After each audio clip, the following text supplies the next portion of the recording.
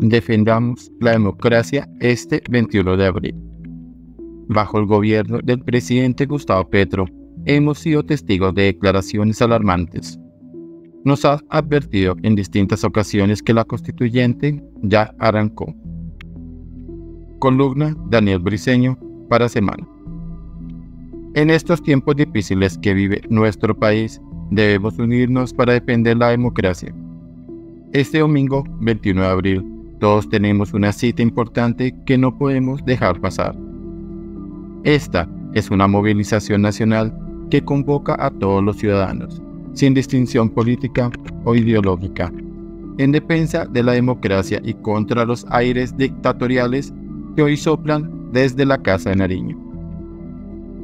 Bajo el gobierno del presidente Gustavo Petro hemos sido testigos de declaraciones alarmantes. Nos ha advertido en distintas ocasiones que la constituyente ya arrancó. Petro sabe que su gobierno es nefasto, que su gestión es endeble y que no logrará cambiar esto en los meses que le quedan. Por lo tanto, la única forma de mantenerse en el poder político es a través de una constituyente impuesta. Además, presenciamos como país una crisis explícita en el sistema de salud, orquestada por el mismo gobierno.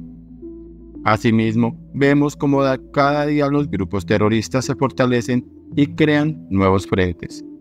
Incluso, estamos enfrentando una crisis energética y de racionamiento de agua. Y no menos importante, una ejecución presupuestal que deja mucho que desear aunque en este último caso uno no sabe si mejor alegrarse porque no ejecuten.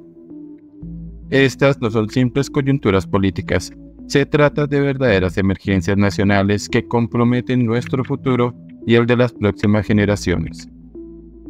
Por ello, el próximo domingo 21 de abril tenemos una oportunidad única, ya que por primera vez la marcha se llevará a cabo un día en el que la mayoría puede participar sin el impedimento de sus obligaciones laborales. Desde las 10 de la mañana nos reuniremos en las ciudades capitales del país. En Bogotá, el punto de encuentro será en el Parque Nacional, desde donde marcharemos hasta la Plaza de Bolívar. Esta movilización es un acto de unión en defensa de lo que todos valoramos, nuestra libertad, nuestro derecho a vivir en paz y nuestra democracia. Es necesario que como nación exijamos al gobierno de Gustavo Petro respeto por las instituciones, que garantice terminar su mandato en 2026 y asegure la realización de elecciones libres y democráticas. Debemos anticiparnos a un escenario oscuro como el que vive en Venezuela, donde la democracia ha sido socavada y las instituciones quebrantadas. No podemos permitir que nuestro país siga ese mismo rumbo, pues ello significaría la pérdida de nuestras libertades fundamentales y el surgimiento de un régimen autoritario que nos privaría de nuestros derechos más básicos. Este 21 de abril demostremos que la Colombia unida es más fuerte que cualquier narrativa que intente dividirla. Participemos, Alcemos nuestra voz.